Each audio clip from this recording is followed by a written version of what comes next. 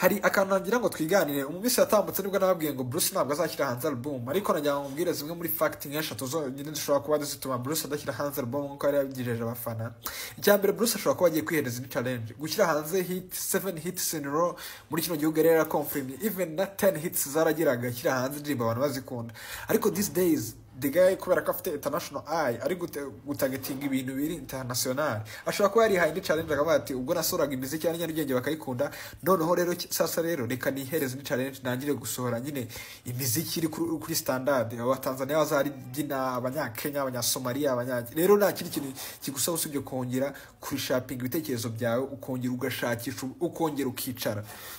Ikindi kintu ntekereza bruce yagiye akora hit zigiye zitandukanye harimo za sawasawa sawasawa itaranabonye abataranayamamaje cyane ariko sofa buriya sawasawa ni na yo ndirimbo ya mbere bruce melody yabaye successful kuri zino kuri zino streaming platform kubera ko nk'iyo urebye mu rubuga rwa mbere ruhemba gatubutse abahanzi ku isi spotify spotify sawasawa ifite over 1 million uh, over 3 million streams kuri runo rubuga.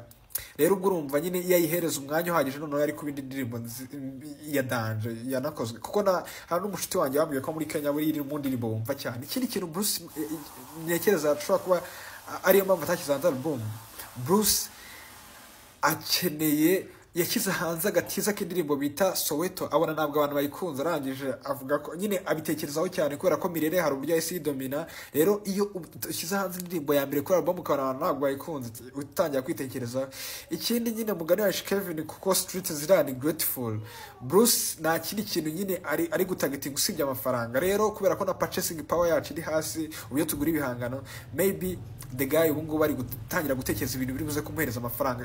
Mu buryo bwo gucuruza ndetse n'ibindi. Rero niyo mpamvu bishobora gutuma nyine hazaho gutinda kugira ngo ashyire hanze album.